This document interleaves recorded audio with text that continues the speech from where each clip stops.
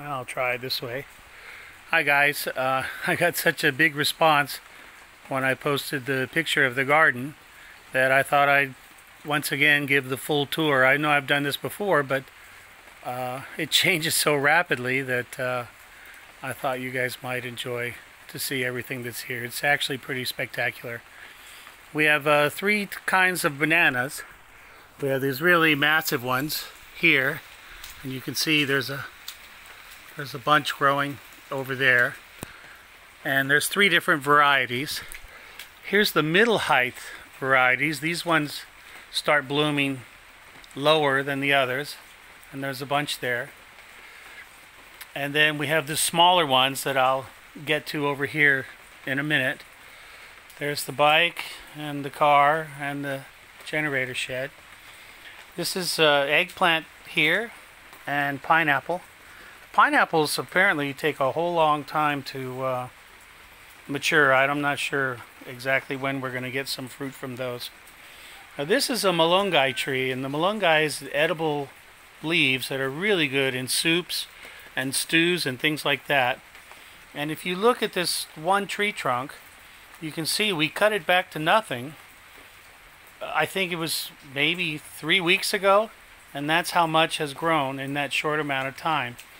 And then all these other malunggay that you see here, this one we just cut back to nothing and, and within weeks it'll start growing again.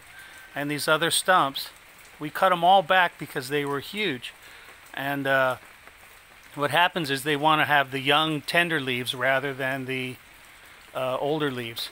Over there is uh, lemongrass and then the malunggay you see way over there by the apartment is another one that we started from this tree. Then this is cassava here, these big green plants that you see over by the pool. Those are like a tuber, so you when you dig them up, you eat the actually the root that's in the ground. Then we have uh, more pineapple here. Eggplant, more eggplant, although these, I think the eggplants are starting to look a little, little ragged. This is calamansi, which is a small citrus fruit that's like a lemon. And I don't know, that just looks like a palm tree to me there. I'm not sure what that is. And then we have more pineapple here. More eggplant. And it's got these little squash here. And what's interesting is they also eat the flowers of these. Some of these, uh, these are lettuce, I think. This is an avocado tree here. This is a pepper tree. Small uh, peppers they call sili. I don't know if you can see that in there. There's one. There's one right there. There we go.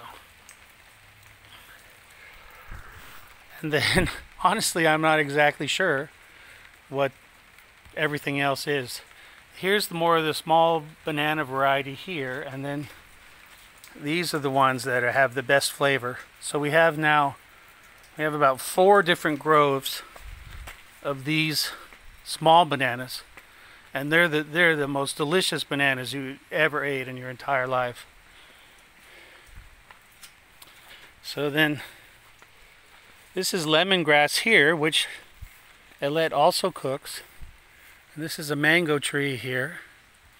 All of these, you know, of course, we've only been here a couple years, so we're just waiting for them to produce fruit. Now, here's the one I'm most interested in. This is a mulberry bush, and it's got flowers on it. So, what I'm waiting to see is if that little bush is going to I think all those flowers are going to turn into fruit. I hope so. I'll be really excited and I'm not sure what this one is. And I'm not sure what this one is. And I'm not sure what this one is but we got lots of stuff going on here. So then she has lots of nice small flowers in the garden. And uh, tons and tons of orchids. These are just beautiful. Look at these flowering uh, vines. They're just absolutely gorgeous. And then this is another calamansi. It's the biggest one we have. But right now it's not producing any fruit. Then she has the beautiful bromeliads and look at all these orchids. Some of them are blooming. These are all orchids here on the fence. And this corner of the garden is kind of her bromeliad uh, corner here. We have some small tiny roses here. And then this one up in the corner, that's actually an American rose. It had a big, beautiful flower with a nice scent. But I think we haven't had enough sunlight lately for them to go get crazy again. This is an orange tree. We're expecting fruit maybe in two more years, I hope. It's a beautiful tree and I love it, but uh, so far no fruits. And then you see that Elet made these all these wall mounted pots. She did and these shelves she did all on her own. And then these other the small pots these are all handmade pots up here. Then more orchids. This is a that's an avocado tree there and then I do get hummingbirds coming to my feeder and what the hummingbirds really love is this bush here. It has these little red blossoms and the hummingbirds just go crazy on this. And I had the feeder right there, but then I couldn't see it, so I've moved it over here and the hummingbirds, now they know. So here are more orchids here. I'm not sure what these are, but they're just beautiful. More orchids. Look, these are blooming. Look at how many flowers.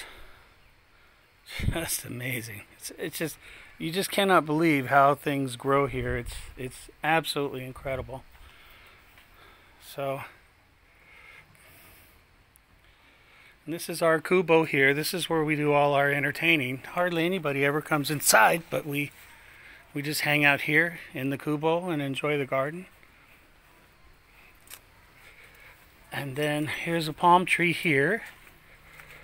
And then this is the tree I'm really excited about. This is a pomelo tree.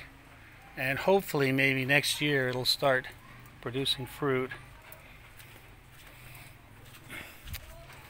And then these are, I love the green color on these. I'm not sure what they are or if they have flowers, but they're just gorgeous. Some hanging plants, pots. These are grapes.